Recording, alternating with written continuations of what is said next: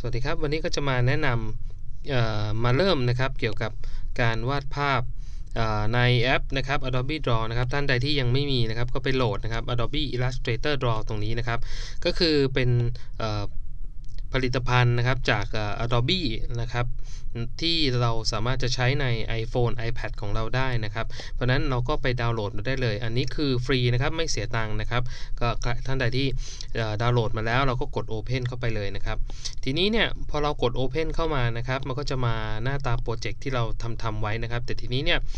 ผมจะเริ่มนะครับ เรามาเริ่มทำความเข้าใจกันที่ New Project นะครับ เราไปกดที่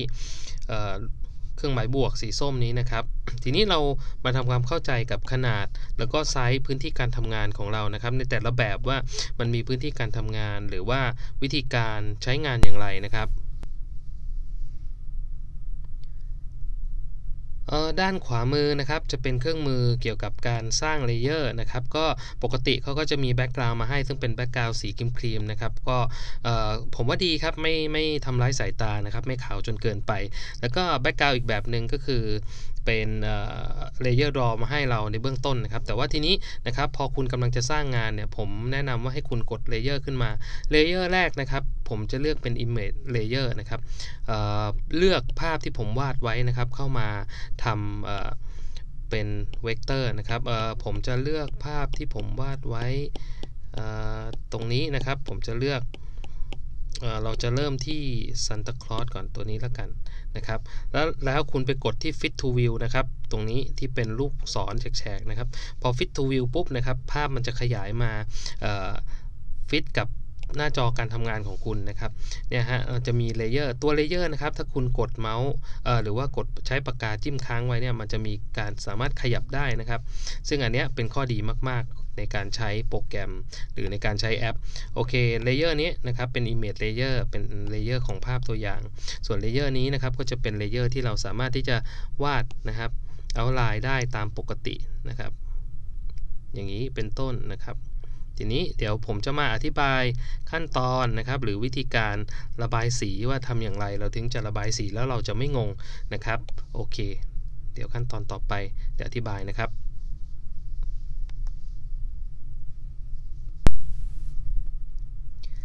ทีนี้เรามาทำความเข้าใจเกี่ยวกับการพื้นที่การทำงานในแต่ละแบบนะครับ หลังจากที่คุณเปิดแอปพลิเคชันขึ้นมานะครับ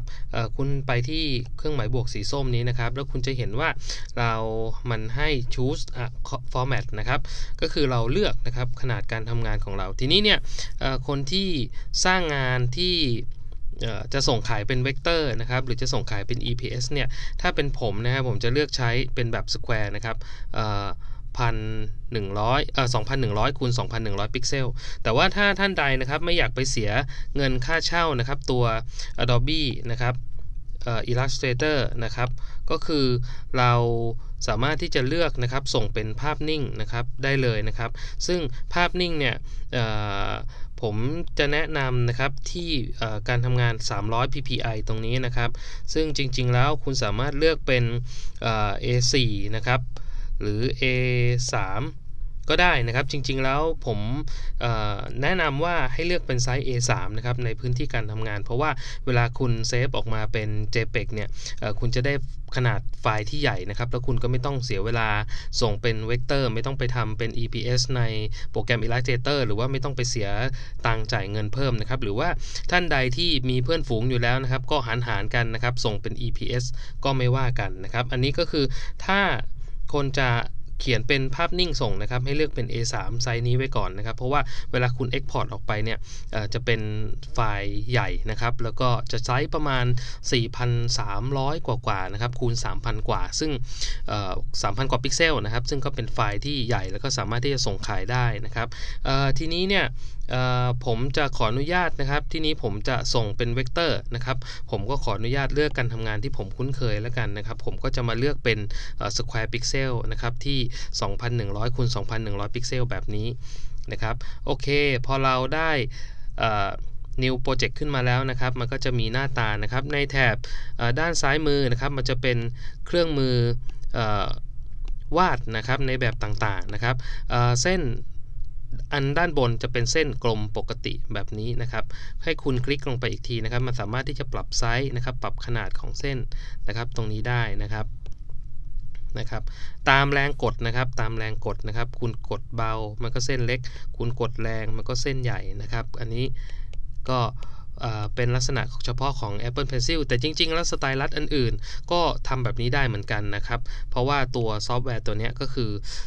ตัวแอปพลิเคชันเนี่ยค่อนข้าง supportมาก ๆ อยู่แล้วนะครับ ทีนี้ตรงนี้นะครับ Color เราจิ้มลงไปนะครับ คุณสามารถเปลี่ยนสีนะครับ เลือกโทนสีต่างๆ ได้ หรือว่ามีธีมนะครับ คุณสามารถที่จะเลือกนะครับเป็น volume นะครับ เป็น palette แบบนี้นะครับ ก็ใช้งานสะดวกดีครับ ส่วน library นะครับ แล้วแต่คุณก็อาจจะมีการ save สีเก็บไว้แล้วเดี๋ยวผมจะอธิบายว่ามัน save ยังไงนะครับ ทีนี้เนี่ยคุณก็เลือกแต่จริง ๆ ผมชอบแบบนี้มากกว่านะครับ หรือแบบธีมเต็มที่เราก็ใช้ประมาณนี้นะครับ ส่วนใหญ่ก็ไม่ได้ค่อยเก็บไลบรารีอะไรนะครับ เพราะว่าเราวาดภาพนิ่งแล้วก็วาดไปเรื่อยๆนะครับ โอเค ทีนี้เรามาดูตัว หัวอีกแบบหนึ่งนะครับก็คือหัวที่เป็นผู้กันนะครับ หัวเป็นผู้กันก็คือจะปลายแหลมนะครับ ถ้าเราลากมันก็จะเป็นปลายที่ตวัดนะครับ ซึ่งจะจะเวลาจะเขียนหนังสือหรือจะวาดภาพนิ่งอะไรที่เต้นมันมีขนาดหรือไซส์ต่างกันเนี่ยจะจะดีมากๆเลยทีเดียวนะครับ อันนี้ก็เป็นอีกปลัดอีกประเภทหนึ่ง อีกประเภทหนึ่งก็คือเป็น ปากกานะครับหัวตัดนะฮะคล้ายๆปากกาหัวตัด แต่ว่าเป็นหัวตัดในแบบกลมนะครับ อันนี้ก็ใครชอบอย่างไรก็ไปลองฝึกใช้กันดูนะครับ จริง ๆ มันไม่ยากนะครับอันนี้ก็เป็นหัวตัดอีกแบบหนึ่งเป็นหัวตัดเหลี่ยมนะครับ เหมือนพวกปากกาตาหัวม้าอะไรทั้งหลายแหล่นะครับ ที่เราเคยใช้หรือปากกาหัวตัดทั่วๆไปนะครับ ปรับขนาดทุกอย่างได้เหมือนกันหมดนะครับอีกอันนึงก็คือ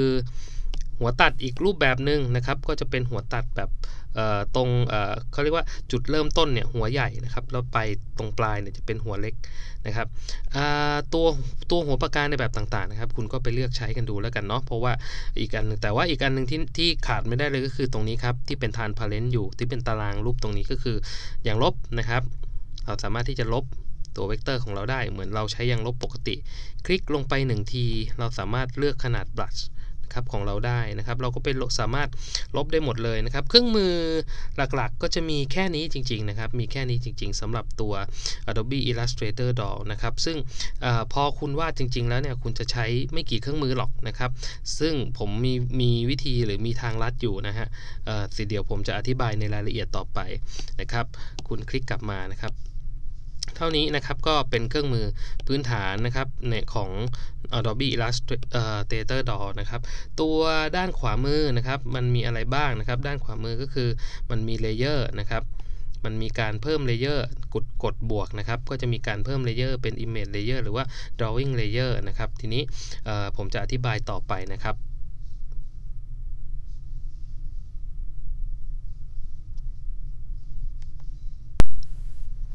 เอาละครับก็มาถึงขั้นตอนการลงสีนะครับทีนี้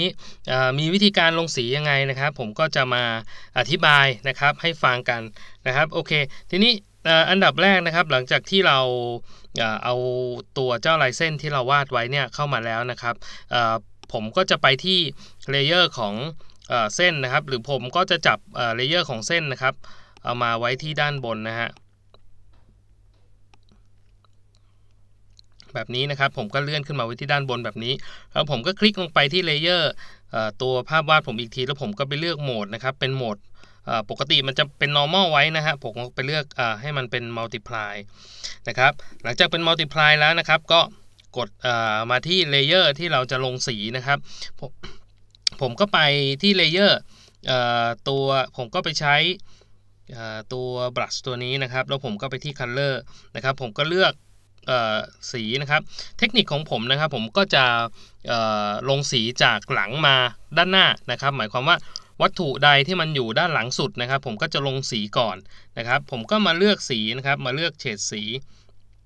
ผมจะลงตัวถุงของขวัญก่อนนะครับ ผมก็จะมาเลือกสีนะครับ หลังจากที่ผมเลือกสีเสร็จเรียบร้อยแล้วนะครับ ผมสามารถที่จะกดบวกนะครับ เพื่อที่จะ save color ได้นะครับ ทีนี้บางคนนะครับกดบวกแล้วพอ save color ปุ๊บนะครับ มันก็จะไปอยู่ที่ตรงนี้นะฮะ ตัว library ที่เราสร้างไว้นะครับ บางคนอาจจะยังไม่มีมันจะขึ้นเป็น library เฉยๆนะครับ คุณสามารถที่จะกดสร้างนะครับ create new library นะครับ ตรงนี้ขึ้นมาได้นะครับ พอคุณกด create สร้าง new library นะครับ มันก็จะให้คุณตั้งชื่อนะครับ เป็น library อะไรก็ตามแต่นะครับ มันก็คุณก็เลือกเป็นแล้วแต่คุณจะตั้งชื่อนะครับ แต่ที่นี้ผมตั้งไว้ที่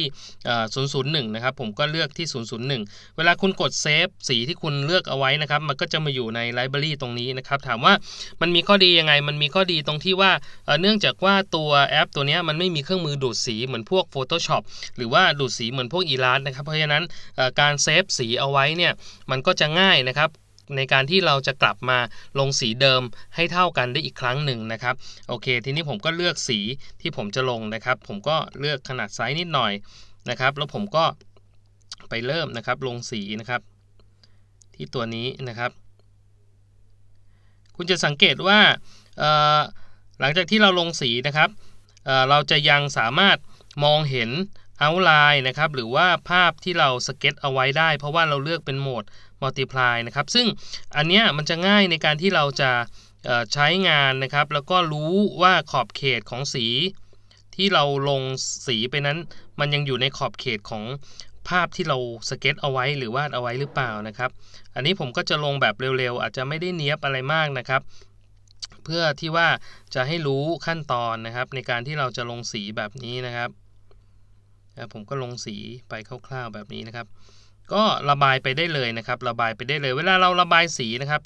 ก็พยายามอย่าให้มันมีช่องว่างนะครับ ก็อาจจะต้องละเอียดแล้วก็พิถีพิถันกับมันหน่อยนะครับ เพราะว่าช่องว่างนะครับ เวลาเรา convert นะครับให้มันเป็นเวกเตอร์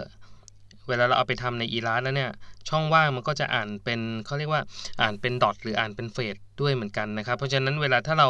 ลงสีแล้วเราไม่ละเอียดนะครับ มีช่องว่างเยอะ มันก็จะกลายเป็นว่าเฟสเราก็จะเยอะไฟเราก็จะหนักนะครับโอเคผมได้เลเยอร์นี้มาแล้วนะครับ ผมก็จะลงสีนะครับอีกเฉดหนึ่งอ่าตรงนี้นะครับ ตรงนี้เราก็ลงมันด้วยนะครับ มันเป็นปากถุงนะครับเราก็ลงมันด้วย ลงสีไปแล้วนะครับ ตรงปากถุงแบบนี้นะครับ คุณลองปิดตานะครับ เริ่มคลิก 2 ที ปิดตา layer นะครับ เห็นไหมฮะ สีก็จะขึ้นมาแล้วเรียบร้อยนะครับ ไปลงสีต่อนะครับ อีกสี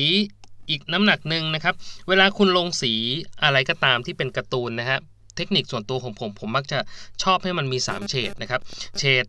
กลางนะครับเฉดเข้มเป็นเงา แล้วก็เฉดไฮไลท์ที่เป็นจุดสว่างโอเค ทีนี้ผมจะมาลงเฉดที่เป็นเฉดเข้มนะครับ ผมก็ปรับเข้มขึ้นมาได้เลยนะครับ ผมปรับเข้มขึ้นมาแบบนี้ แล้วผมก็ไปกดบวกเอาไว้นะครับเซฟสีเอาไว้เพื่อให้มันมาอยู่ใน library นะครับก็มาแล้วนะฮะอีกเฉดหนึ่งนะครับ ผมก็ไปเลือกเฉดที่มัน light เป็นจุดไฮไลท์นะครับ สว่างหน่อย ผมกดบวกเข้าไปนะครับ คุณมาดู library เห็นไหมฮะ มันก็จะมีหลายเฉดที่เป็นเฉดที่เราใช้นะครับผมก็จะไปเลือกเฉดเข้มก่อนนะครับ แล้วผมก็ไปลงสีที่ตรงนี้นะครับ ในแอเรียที่ผมได้วาดเอาไว้นะครับกำหนดเอาไว้คร่าวๆนะครับประมาณนี้นะครับแอเรียนี้ด้วยนะครับนะฮะ แอเรียนี้ด้วยนะครับวาดคร่าวๆแบบนี้ตรงนี้ด้วยนะครับ แล้วแต่ความสวยงามนะครับ ก็ลองลองอพิจารณาดูนะครับ ตรงนี้ด้วยนะครับ ตรงที่ที่แสงและเงานะครับ ให้มันเป็นแสงและเงาขึ้นมา ตรงนี้ด้วยก็ได้นะครับ ประมาณนี้นะครับ หลังจากนั้นนะครับ ผมก็จะไปลงสีอีกอันนึงนะครับ ก็คือสีที่มันสว่างขึ้นหน่อยนะครับประมาณนี้นะครับ ในตำแหน่งที่แสงตกกระทบนะครับ เราก็จินตนาการเอานะว่า แสงมันน่าจะตกกระทบประมาณนี้แหละนะครับ อันนี้ก็ถ้าท่านใดที่ฝึกวาดบ่อยๆ ก็จะพอเข้าใจ หรือท่านใดที่พอมีพื้นฐานศิลปะมาบ้างก็จะพอเข้าใจ หรือว่าถ้าไม่มีมาเลยก็ไม่เป็นไรนะครับ จริงๆแล้วเราก็มาเรียนรู้กันได้นะครับ เราลองมาฝึกกันได้ จริง ๆ แล้วอันนี้ผมก็อาจจะลงไม่ได้ดูดี ไม่ได้ดูสวยอะไรมากมายสักเท่าไหร่นะครับ ก็ใครที่ดูการ์ตูนบ่อยๆ ก็ศึกษาจากการ์ตูนที่เราดูนั่นแหละครับ สังเกตดูว่ามันมีแสงมีเงายังไงอะลองปิดดูอะก็จะประมาณนี้นะครับ ก็จะประมาณนี้อันทีนี้อีกเฉดหนึ่งที่เข้มขึ้นนะครับผมก็ ประมาณอย่างนี้แล้วกันนะครับ นะครับเวลาเราดูการ์ตูนหรือ comic ทั่วๆไปนะครับก็พยายามสังเกตแสงและเงานะครับ จริงๆ แล้วมันเป็นประโยชน์มากนะ เราเอามาใช้กับงานเวกเตอร์ของเราได้นะครับประมาณนี้นะครับ ประมาณนี้วาดเสร็จแล้วนะครับ layer แรกนะครับเอาละ layer ที่ 2 ผมก็จะไปลง layer ของเสื้อนะครับ เสื้อคือสีแดงนะครับ ผมก็ไปกดบวก new layer draw layer ขึ้นมา layer หนึ่งนะครับ แล้วผมก็ไปเลือกสีแดงนะครับ ไป pick สีแดงที่ผมจะลงสีที่เป็นสีเสื้อของ Santa Claus นะเซฟสีไว้ก่อนอเข้มเซฟเอาไว้นะอ่อนเซฟเอาไว้นะครับ พอมาดูปั๊บอ่าก็จะเป็น 3 เฉดนะครับ แดงกลางนะครับอ้าวละเราลงสีตรงนี้ layer นี้กัน ผมขออนุญาตจับมาไว้ด้านล่างแล้วกันนะครับแล้วเราลองลงสีนะครับฟืบในขอบเขตของมัน แบบนี้นะครับ ครับลงตามไปเรื่อยๆนะฮะไปช้าๆหน่อยนะ ค่อยๆตามกันไป อันนี้เป็นเวิร์กช็อปนะครับ เพราะฉะนั้นก็จะใช้เวลาเยอะหน่อยเนาะอ่าแล้วผมก็ปึ๊บนะครับแบบนี้อ่า ลงสีไปนะครับแบบนี้ ลงสีคร่าวๆ ลงให้ทั่วๆนะครับ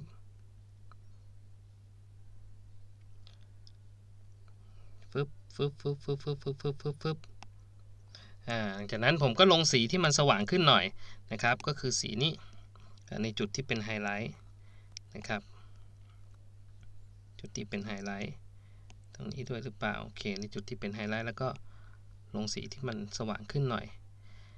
แบบประมาณนี้นะครับประมาณนี้ในจุดที่เป็นไฮไลท์ของเรานะครับหลังจากนั้นนะครับจุดที่เป็นเงาผมก็จะไปลงสีเข้มหน่อยนะครับ แบบนี้จุดที่อยู่มืดๆหน่อยนะฮะนะครับ คือการเลือกสีให้มันเป็นสัก 3 เฉดเนี่ยผมว่ามันก็จะดูมีมิติมากขึ้นนะครับในงานเวกเตอร์ของเรา แต่ถ้าท่านใดที่มีพื้นฐานศิลปะอยู่แล้วนะครับ มองออกมากกว่านี้หน่อย เราก็สามารถที่จะทำเฉดหรือเงาที่มันซับซ้อนกว่านี้ มันก็งานก็จะดูมีมิติแล้วก็ดูดีมากขึ้นได้นะครับ ประมาณนี้นะครับเราหายดูฮะก็จะดูมีมิติแล้วนะครับประมาณนี้นะครับ อ่าเลเยอร์ต่อไปนะครับ ผมก็จะไปลงอ่าเนี่ยฮะผมติดตรงนี้นะครับ ยังไม่ได้ลงอีกอันหนึ่งก็คือตัวนี้นะครับ ตัวที่เป็นชายเสื้อนะครับชายเสื้อยังไม่ได้ลงโอเคประมาณนี้ผมก็ลงทับๆไปเลยฮะลงทับๆไปเลยนะครับเลือกสีเข้มนะฮะประโยชน์ของข้อดีในการเซฟนะครับเซฟเพราะว่าเวลาเรากลับมาลงอีกครั้งหนึ่งเนี่ยสีมันจะเท่ากันนะครับเราเซฟเป็น library ของเราเอาไว้โอเค เรียบร้อยนะครับ หลังจากนั้น ผมก็จะไปลงที่หนวดนะครับ ลงที่สีขาว ผมกดบวก layer ขึ้นมาอีกอันหนึ่งนะครับ ไปที่ pick ที่สีขาวนะครับ ขาวเลย แบบนี้นะครับ กดบวก แล้วก็สีเทากดบวกนะครับ แล้วก็เทาอ่อนๆลงมาหน่อย กดบวก ประมาณนี้ก็ได้นะครับ แล้วก็ผมก็ไปเลือกสีขาวนะครับ แล้วก็ลงสีนะครับ ฟืบสีขาวแล้วอาจจะอาจจะมองเห็นไม่ไม่ไม่ชัดมากนะครับ เพราะว่าถ้าเรา multiply เอาไว้เนี่ยบางทีเขาจะมองสีขาวออกมาให้มันเป็นให้มันเป็นคือเขาจะมองสีขาวเป็นทานพาเลนต์นะฮะ มันบางทีเราก็อาจจะมองไม่ชัด ดังนั้นเราใช้วิธีอย่างนี้ล้วกัน ผมใช้วิธีแก้ปัญหาด้วยการที่ลงสีเข้มหน่อย อ่า ถ้าลงสีเข้มหน่อยเนี่ยจะได้แล้วเดี๋ยวเราค่อยมาทำไฮไลท์ สีขาวอีกทีหนึ่งนะครับ ประมาณนี้นะฮะผมก็ลงสีไปปึ๊บหนวดด้วยโอเคหนวดประมาณนี้นะครับนะฮะนี่ถ้าอยากเนี้ยบก็เก็บปลายให้มันเรียบร้อยหน่อยล้วกันนะครับ แบบว่าเลือกหัวบลัดให้มันเล็กลงหน่อยนะครับ ถ้าอยากเรียบร้อยหน่อย ประมาณนี้นะครับ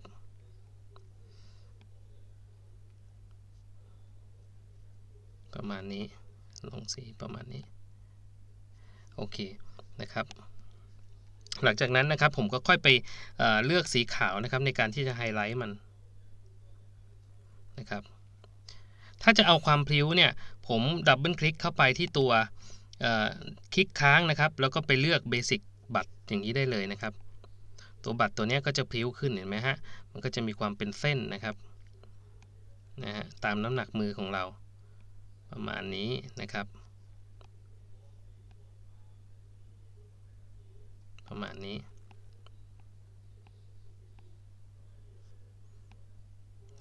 ตัวบลัดตัวนี้ก็ใช้งานได้ดีนะครับ ใช้งานได้ดีประมาณนี้เป็นเส้นๆแล้วนะฮะ ดู ดูมีรายละเอียดนะครับ ลองปิดตัวเลเยอร์ดูนะ ก็จะประมาณนี้ก็จะประมาณนี้นะครับ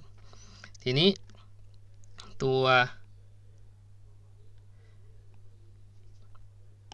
ประมาณนี้ทีนี้ตัวขอบนะครับตัวขอบของหนวดนะฮะผมจะให้มันมีความชัดเจนมากขึ้นสำหรับตัวขอบของหนวด ผมก็เเลือกบัตรที่มันเล็กลงนะครับ กดใช้ 2 นิ้วนะครับ เราซูมเข้าไปได้เลยนะ ใช้ 2 นิ้วเราซูมเข้าไปได้เลย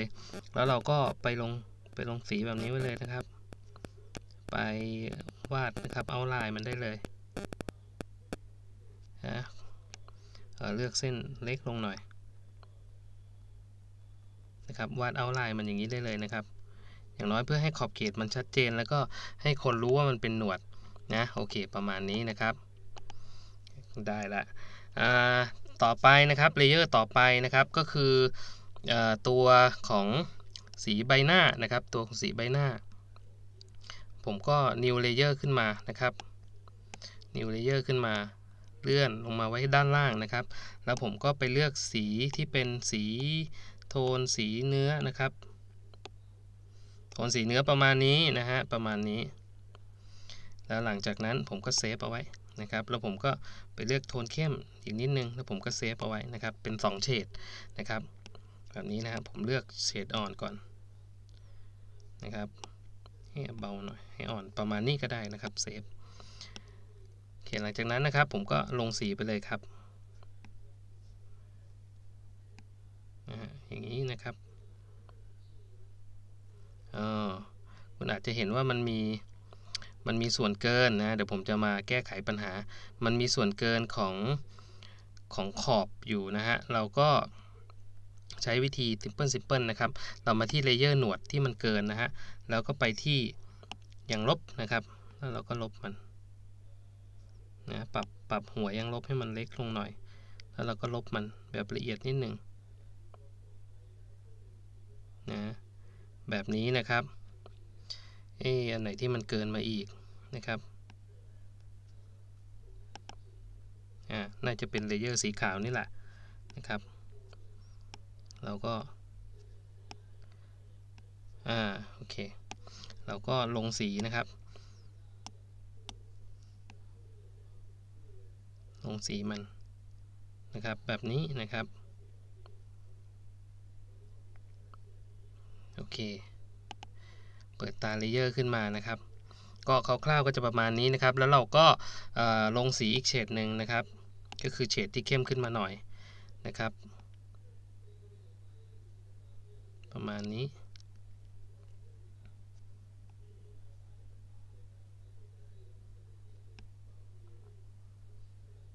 ประมาณนี้ก็ได้นะครับ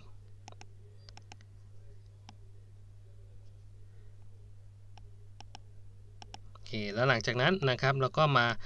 ตั้ง new layer ขึ้นมาอีกนะครับ ก็คือตัว layer สำคัญมากนะครับ คือเราก็พยายามแยกให้มันละเอียดนะครับ เพราะว่าข้อดีของเจ้า Adobe Draw เนี่ยมันก็แยก layer ไปได้เรื่อยๆนะครับ ส่วนตาเราละเอียดหน่อย แล้วก็ซูมเข้าไปใกล้ๆนะครับ ซูมเข้าไปใกล้ๆ แล้วก็วาดมัน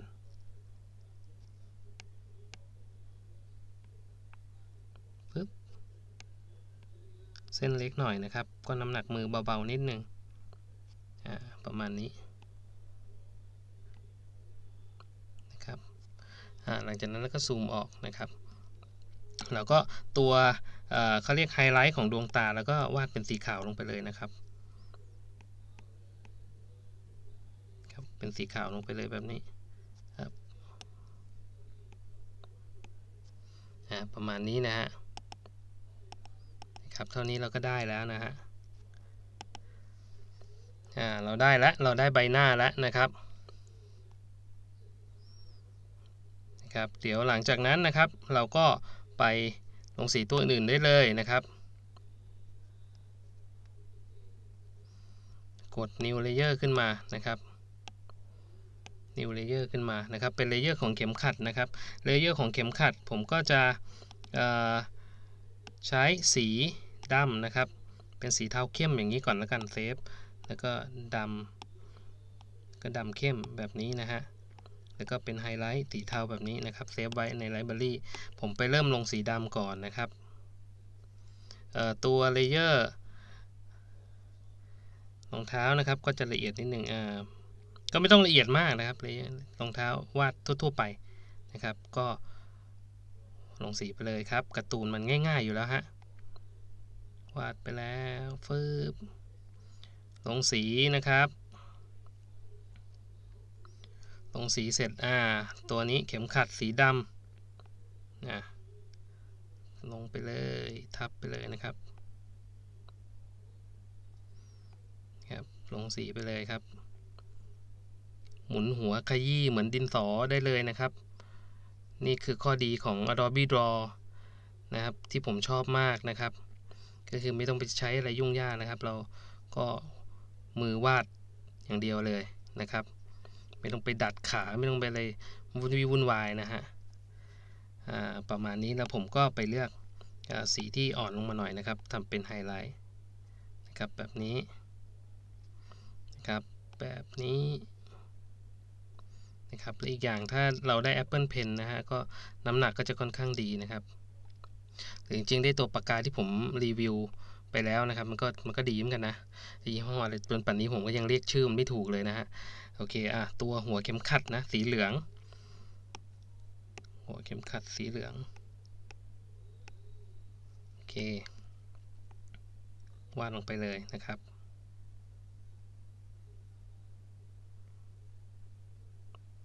ประมาณนี้นะครับ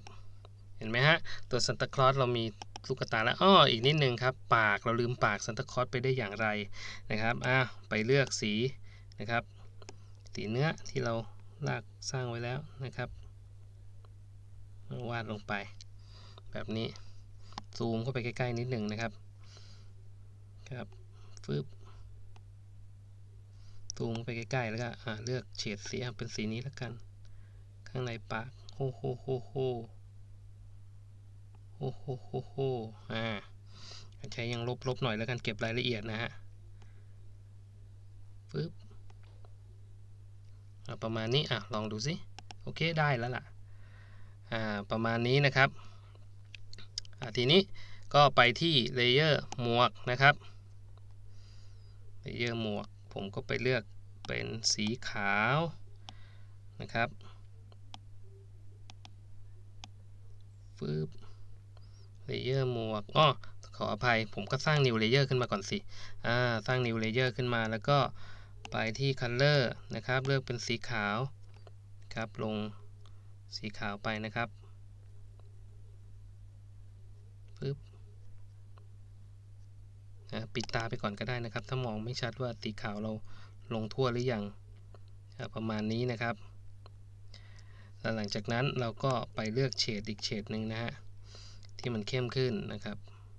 ปึ๊บปึ๊บแบบนี้แล้วกัน แล้วทีนี้อ่าตัวหมวกสีแดงนะครับเราก็ไปที่เลเยอร์สีแดงนะครับ หมวกสีแดงแล้วก็ลงสี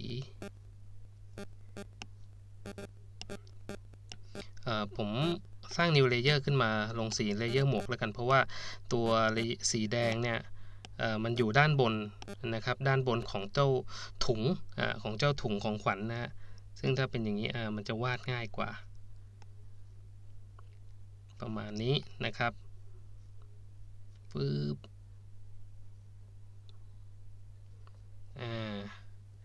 จากนั้นก็ลงเฉดครับที่เราเซฟเอาไว้นะประมาณนี้ประมาณนี้แล้วผมก็ไปเลือกสีขาวหมุนหมุนกลมๆทำไฮไลท์มันสักหน่อยนึง โอเคนะครับ โอ้ผมลืมจมูกได้ยังไงในเลเยอร์ตานะครับมาที่เลเยอร์ตาลงสีจมูก อันนี้คือข้อดีของการเเราทำไอ้เจ้าตัวเซฟไลบรารีของสีเอาไว้นะครับ เพราะว่าเราสามารถที่จะดึงมันมาใช้ตอนไหนก็ได้นะเป็นข้อดีนะฮะ